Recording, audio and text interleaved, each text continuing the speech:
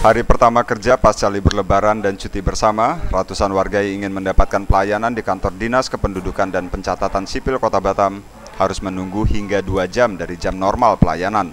Pelayanan yang harusnya sudah dibuka mulai dari pukul 8 pagi, justru baru melayani masyarakat pukul 10 pagi. Seperti yang terlihat pada hari Senin 25 Juni 2018, sejak pukul 8 pagi ratusan warga tampak menunggu datangnya petugas. Sementara di loket pelayanan, terlihat pemberitahuan layanan tersedia, namun tidak ada satupun petugas yang berjaga. Salah seorang warga Sagulung, Ana, ia menuturkan harusnya petugas pelayanan ada yang ditugaskan untuk melayani masyarakat, walaupun ada kegiatan di Pemko Batam. Warga justru baru diberitahu setelah tiba di kantor Disduk Capil. Menurut Ana, jika ada kegiatan sehingga petugas berhalangan untuk memberikan pelayanan, seharusnya diberi pengumuman terlebih dahulu sehingga masyarakat tidak kecewa karena harus menunggu dengan lama.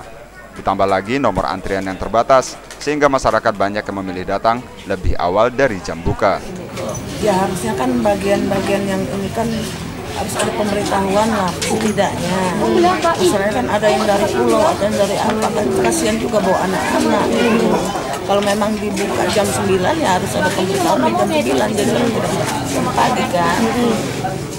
Meski pelayanan akhirnya dibuka setelah molor 2 jam, masyarakat merasa kecewa dengan sistem yang diterapkan. Untuk itu, petugas di Sduk Capil meminta maaf atas keterlambatan tersebut dan berjanji akan mengevaluasi lagi untuk pelayanan yang lebih baik. Tim Liputan Diamond TV melaporkan dari Batam, Kepulauan Riau.